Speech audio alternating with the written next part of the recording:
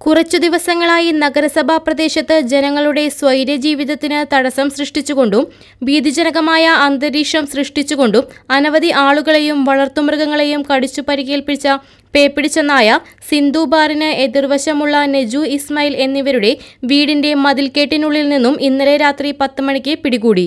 തളിക്കുളത്ത് പ്രവർത്തിക്കുന്ന animal കാച്ചിംഗ് സൊസൈറ്റിയിലെ volunteers നായയെ പിടികൂടുകയും കൂട്ടിൽ അടയ്ക്കുകയും ചെയ്തു.